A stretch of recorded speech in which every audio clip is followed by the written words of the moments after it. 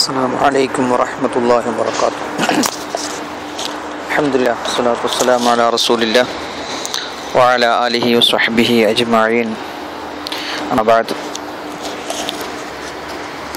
പ്രിയമുള്ള S K S S F media group സഹോദരങ്ങളെ വ്യത്യസ്തമായ പ്രോഗ്രാമുകളുടെ കൂട്ടത്തിൽ നമ്മുടെ ഗ്രൂപ്പിൽ ഒരുക്കുന്ന ഒരു പരിപാടിയാണ് തമ്പീഹ്. അതിൽ പല ഉസ്താദന്മാരും പല ആഴ്ചകളിലായിട്ട് നമുക്ക് മതവിജ്ഞാനങ്ങൾ ഒരുക്കി തരുന്നുണ്ട്. അള്ളാഹു സുബാനു തല സ്വീകരിക്കുമാറാവട്ടെ. ബഹുമാനപ്പെട്ട ഉസ്താദന്മാർക്ക് ദീർഘായുസും ആഫിയത്തും നൽകി അനുഗ്രഹിക്കട്ടെ.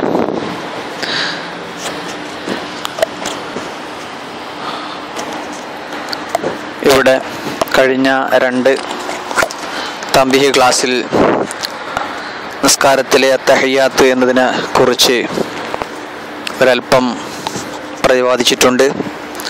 ഇൻഷാല്ല ഇന്ന് അതിന്റെ മൂന്നാം ഭാഗത്തിലേക്ക് കിടക്കുകയാണ്. തഹയ്യാത്തിനെ കുറിച്ച് തന്നെ സാന്ദർഭികമായി ഒന്നും കൂടി ഉണർത്തുകയാണ്. തഹയ്യാത്ത് അക്ഷരത്തെറ്റില്ലാതെ ഫാത്തിഹ ഏത് പ്രകാരമാണോ അപ്രകാരം തന്നെ നിസ്കാരത്തിൽ ഓതാൻ പഠിക്കേണ്ടതുണ്ട്. ആ ഭാഗം എല്ലാവരും ശ്രദ്ധിക്കുമല്ലോ.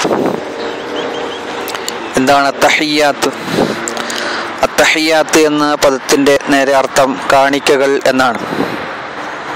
കാണിക്കകൾ. രാജാതി രാജാവായ അള്ളാഹുവിന് നാം വെക്കുന്ന കാണിക്ക. അതായത്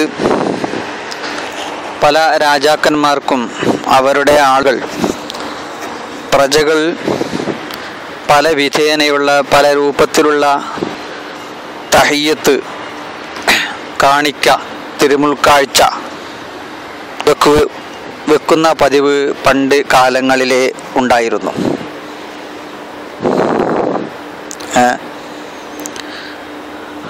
പലരും ചില ആളുകൾ ചില വാക്യങ്ങളെ കൊണ്ട് അൻഎം സുബാഹൻ എന്നതുപോലത്തെ പദങ്ങളെ കൊണ്ട് ഇസ്ലാം വരുന്നതിന് മുമ്പ് അറബികൾ അങ്ങനെയായിരുന്നു. തഹയ്യത്ത് വെച്ചിരുന്നത് രാജാക്കന്മാരുടെ മുമ്പിൽ. ചില ആളുകൾ സുജൂതും ചെയ്തിട്ട് ഭൂമിയെ ചുംബിക്കുക രാജാക്കന്മാരുടെ മുമ്പിൽ എത്തുമ്പോൾ സുജൂത് ചെയ്യുക എന്നിട്ട് ഭൂമിയെ ചുംബിക്കുക. ഇങ്ങനെയായിരുന്നു തഹത്ത് വെച്ചിരുന്നത്. ചില ആളുകൾ മുമ്പാകത്തേക്ക് ഭൂമിയിൽ കൈകൾ ഇട്ടുകൊണ്ട് എന്നിട്ട് ആ ഭൂമിയെ ചുംബിക്കുക. ഇങ്ങനെയായിരുന്നു. ചില ആളുകൾ താഴ്മയോടുകൂടി നെഞ്ചിന്റെ മേൽ രണ്ട് കൈയും വെക്കുമായിരുന്നു. ചില രാജാക്കന്മാരുടെ ആളുകൾ തല തുറന്നു വെക്കുകയും എന്നിട്ട് അല്പം തല താഴ്ത്തി വെക്കുകയും ചെയ്യുക. ഇങ്ങനെയായിരുന്നു തഹയ്യത്ത് ചെയ്തിരുന്നത്. ചില ആളുകൾ രണ്ട് കൈയും മുഖത്തിന്മേൽ ഇങ്ങനെ വെക്കുക. അങ്ങനെയായിരുന്നു തഹയ്യത്തിന്റെ രൂപം. ചുരുക്കി പറഞ്ഞാൽ ഇങ്ങനെ ഒരുപാട് രൂപത്തിൽ ഒരുപാട് ഭാവേന അവരുടെ രാജാക്കന്മാരുടെ പ്രജകൾ തഹയ്യത്ത് ചെയ്തിരുന്നു. എന്നാൽ എല്ലാ രാജാക്കന്മാരുടെയും രാജാവായ അള്ളാഹു സുബാനുഹുവ താലാക്കാണ് നമ്മുടെ തയ്യത്ത് മുസ്ലിമീങ്ങളായ നമ്മുടെ തഹയ്യത്ത് ആ അള്ളാഹുവിന് വേണ്ടിയാണ്. തഹയ്യാത്ത് എന്ന് പറഞ്ഞാൽ ഉദ്ദേശം അത്തഹയ്യാത്തുലില്ലാഹി എന്ന് പറഞ്ഞാൽ അത്തഹയ്യാത്തുൽ എന്ന് പറഞ്ഞാൽ അത് അസന അലല്ലാഹ്. അത് അള്ളാഹുവിനെ സ്തുതിക്കലാണ്. ഒരു സ്തുതിയുടെ പിന്നെ പരിധിയിൽ വരുന്ന ഒരു വാക്യമാണത് തഹയ്യത്ത്. അത്തഹയ്യാത്ത് എന്ന് പറയുന്നത്. അത്തഹയ്യാത്തു. അത് അള്ളാഹുവിനാണ് ഇല്ലാഹി എന്ന് പറയുമ്പോൾ എന്റെ അർത്ഥം അത് അള്ളാഹുവിൻ തുതിക്കലാണ് നാം ചെയ്യുന്നത്. കാരണം അള്ളാഹു താല എല്ലാ രാജാക്കന്മാരുടെയും രാജാവായ അള്ളാഹു സുബാനുഹുവത്ത ആല അവനാണ് യഥാർത്ഥ മാലിക് യഥാർത്ഥ രാജാവ്. എല്ലാ തഹയ്യത്തിന്റെയും മാലിക് അവനാണ് ഉടമസ്ഥൻ അവനാണ്. അതുകൊണ്ട് തന്നെ നമ്മുടെ തഹയ്യത്ത് അള്ളാഹുവിനാണ് അള്ളാഹുവിനാണ്. അതുകൊണ്ട് തഹയ്യാത്തും എല്ലാ തിരുമുൾ തിരുമുൾ കാഴ്ചകളും.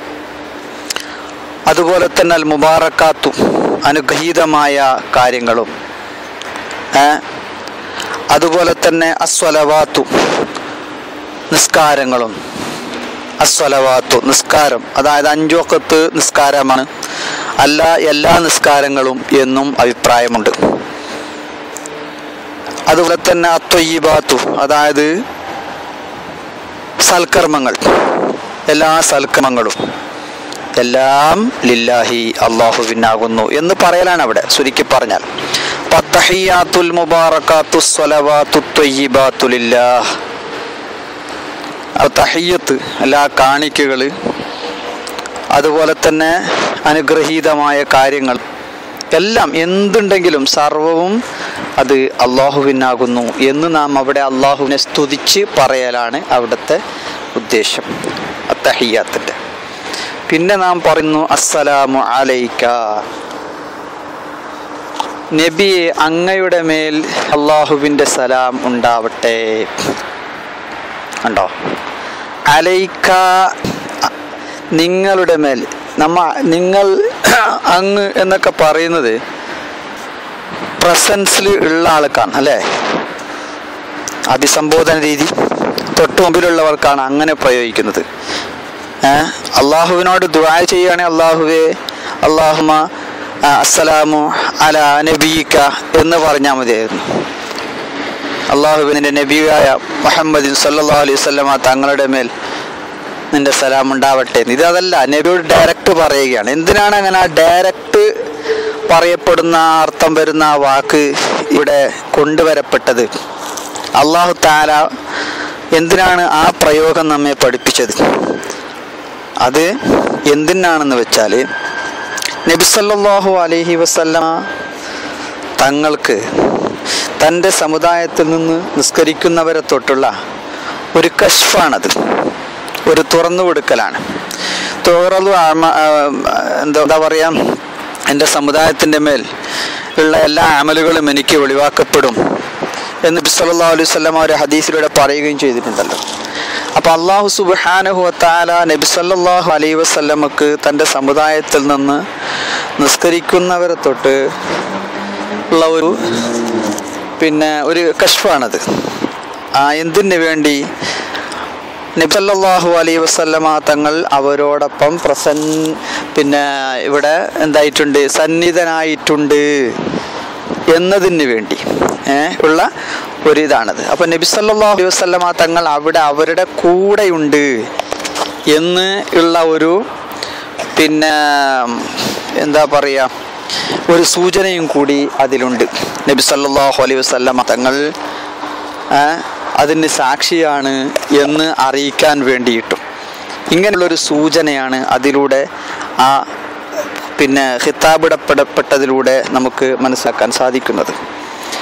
അതുപോലെ തന്നെ മാത്രമല്ല നബി സല്ലല്ലാഹു അലൈഹി വസല്ലമ തങ്ങൾ ഡയറക്റ്റ് എന്റെ മുമ്പിലുണ്ട് എന്ന നിലയ്ക്ക് നാം സലാം പറയുമ്പോൾ അപ്പോൾ നബിയുടെ ആ സാന്നിധ്യത്തെ നാം ഓർക്കുമ്പോൾ എന്താകും? അത് ഹുഷു വർദ്ധിക്കാൻ കാരണവുമാകും. ഭയഭക്തി വർദ്ധിക്കാൻ കാരണവുമാകും. കാരണം നബി സല്ലല്ലാഹു അലൈഹി തമ്മ ഇപ്പൊ റൗല ഷരീഫയിലെ ഒന്ന് ഓർത്തിട്ട് അള്ളാൻ റസൂലിനെ ഓർമ്മിച്ച് റൗല ഷരീഫൊക്കെ ഒന്നിങ്ങനെ ആ ചിത്രം കാണുമ്പോൾ തന്നെ നമുക്ക് മനസ്സിന് വല്ലാത്തൊരു ഇത് തോന്നുന്നുണ്ട് അല്ലേ? ഏഹ് അതേ സ്ഥാനത്ത് റൗല ഷരീഫ് ഡയറക്റ്റ് കണ്ടാലോ? നമ്മുടെ അവസ്ഥ പറയണോ? എന്നതുപോലെ തന്നെ നബി സല്ലല്ലാഹു അലൈഹി തങ്ങൾ നമ്മുടെ തൊട്ട് മുമ്പിലുണ്ട് എന്നുള്ള നിലയ്ക്ക് ആ നിലയ്ക്ക് നാം നബിക്ക് സലാം പറയുമ്പോൾ അവിടെ എന്താകുന്നുണ്ട്? കൂടുതൽ ഭയഭക്തി വരുന്നുണ്ട്. അതുകൊണ്ട് തന്നെ അസ്സലാമു അലൈക ഹൻ നബിയു. ഓ നബിയെ അള്ളാഹുവിന്റെ സലാം അങ്ങേക്കുണ്ടാവട്ടെ. ഓ റഹ്മത്തുല്ലാഹി ഒബറക്കാത്തുഹു അള്ളാഹുവിന്റെ റഹ്മത്തും ബറക്കത്തും ഒക്കെയും എല്ലാ ഹൈറാത്തുകളും എല്ലാ നന്മകളും ഒക്കെയും അങ്ങേക്ക് ഉണ്ടാവട്ടെ എന്ന് ഡയറക്റ്റ് നബി സല്ലാ അലൈഹി വസല്ലമ ഇവിടെ പറയുന്നത് അതുകൊണ്ടാണ്. കാരണം നമുക്കത് ഹുഷു ഉണ്ടാകാനും ഒരു കാരണമാകും എന്നാണ്.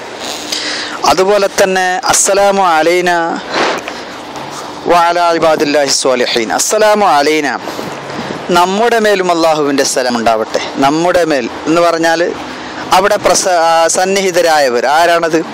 ഇമാം ഉണ്ടാവും മാമും ഉണ്ടാവും അതുപോലെ മലക്കുകൾ ഉണ്ടാകും മറ്റു മനുഷ്യർ ജിന്ന് ഇങ്ങനെയുള്ളവർക്കാണ് ആ അലൈന എന്ന പ്രയോഗം. അസ്സലാമു അലൈന.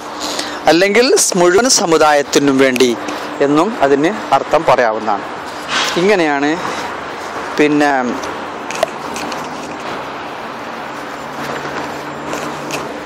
അസ്സലാമു അലൈന വാല ഇബാദില്ലാഹി സ്വാലിഹീൻ എന്നതിനെ പറ്റി മനസ്സിലാക്കേണ്ടത്. അസ്സലാമു അലൈന വഅല ഇബാദില്ലാഹി സ്വാലിഹീൻ. പിന്നെ പറയുന്നു സ്വാലിഹീങ്ങളായ അടിമകളുടെ മേലും ഉണ്ടാവട്ടെ. അപ്പൊ അസ്സലാമു അലൈന നമ്മുടെ മേൽ എന്ന് പറഞ്ഞാൽ അർത്ഥം അവിടെയുള്ള ഇമാമ് മാമോമ മലക്കുകൾ ജിന്ന് ഇൻസ് എല്ലാം പെടും.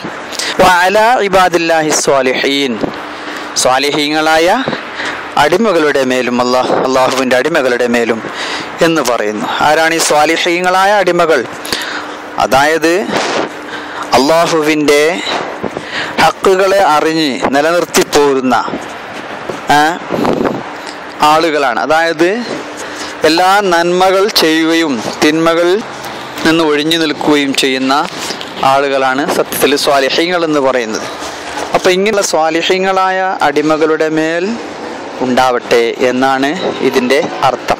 ഇങ്ങനെ അർത്ഥം ചിന്തിച്ചുകൊണ്ട് ചുരുക്കി പറയാം അത്തഹിയാത്ത് എന്നുള്ളത് അത് അള്ളാഹുവിനെ സ്തുതിക്കലാണ്. അസ്സലാമു അലൈ അയ്യോ നബി നബിക്കുള്ള സലാമാണ്. അത് ഡയറക്റ്റാണ് പറഞ്ഞിട്ടുള്ളത്. അതുപോലെ പിന്നെ അവിടെ പറയുന്ന അസ്സലാമു അലൈന എന്നാണ് നമ്മുടെ മേലെന്ന്. ആ നമ്മുടെ മേൽ കൊണ്ട് ഉദ്ദേശം ആരാണ്? ഇമാമു അമൂമ് മലക്കുകൾ ജിന്നീൻസലം പെടും. അതുപോലെ തന്നെ പിന്നെ സ്വാലിഹീങ്ങളായ അടിമകൾ അള്ളാഹുവിനെ പേടിച്ച് ജീവിക്കുന്ന നന്മകളെ നന്മകൾ ചെയ്യുകയും തിന്മകളെ തീർത്തും ഒഴിവാക്കുകയും വെടിയുകയും ചെയ്യുന്ന അള്ളാഹുവിനെ പേടിച്ച് ജീവിക്കുന്ന സ്വാലഹ്യങ്ങളായ ആളുകൾ അവിടെ മേലും ഉണ്ടാവട്ടെ എന്നാണ് ഈ അത്തഹിയാത്തിന്റെ സാരം. അതുകൊണ്ട് ഇൻഷാല്ല സമയം ദീർഘിക്കുമെന്ന ഭയം ഞാൻ തൽക്കാലം നിർത്തുകയാണ്. അത്തഹിയാത്തിന്റെ പിന്നെ ഒരു ചെറിയൊരു വിവരണമാണ് ഞാൻ നൽകിയത്. വിശദമായ വിവരണം നൽകാൻ ഒരുപാട് സമയമെടുക്കും. ഇൻഷാല്ല അത് മനസ്സിലാക്കി എല്ലാവരും അത്തഹിയാത്ത് ഓതുക. ഇൻഷാല്ല പിന്നെ ഇനി അത്തഹിയാത്തിൽ ഇരിക്കേണ്ട രൂപങ്ങളൊക്കെ നമുക്ക് പറയാനുണ്ട്. അതിന്റെ ശേഷം ഇൻഷാല്ല നബിയുടെ മേൽ സലാത്ത് ഇതൊക്കെ നമുക്ക് പറയാം. അള്ളാഹു സുബാനു തല തോഫിയൊക്കെ ചെയ്യുമാറാവട്ടെ.